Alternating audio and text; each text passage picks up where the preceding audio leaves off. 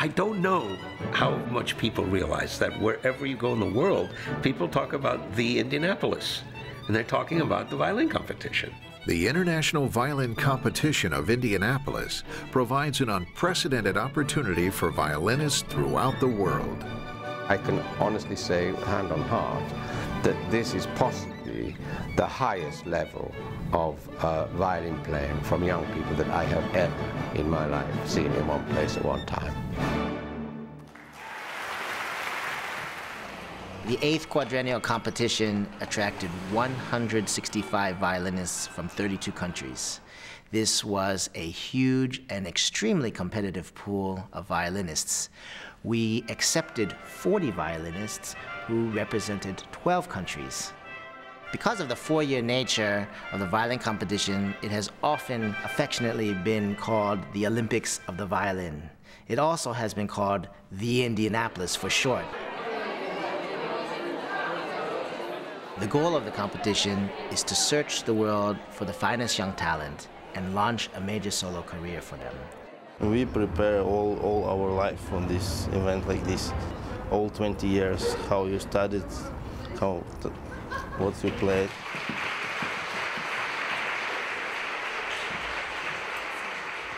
Forty violinists, ages 17 to 29, compete for some of the most coveted prizes awarded in international violin competitions. Perhaps the most important part of the prizes is the post-competition career support. For four years, the Indianapolis launches and manages the careers of the top six finalists. It's my job to help the winners with their new careers. These careers often change overnight, and they go from being a student to being a professional that's traveling from city to city, playing a different piece every week.